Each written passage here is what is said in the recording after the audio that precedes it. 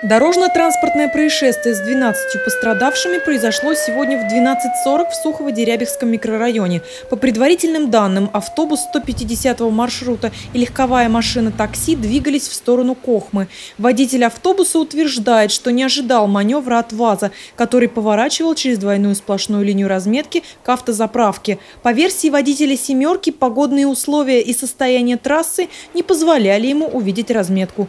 От удара ВАЗ вынесло на обочину встречной полосы. Автобус врезался в столб.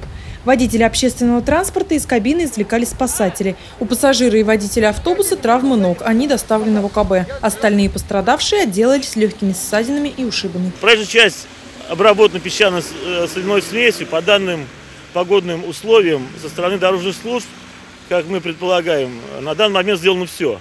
Ну вот.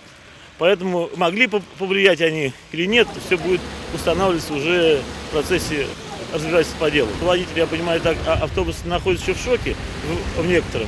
Вот. Что поясняет водитель э, автомобиля такси, на данный момент я конкретно сказать не могу. Все будет установлено в предварительном следствии.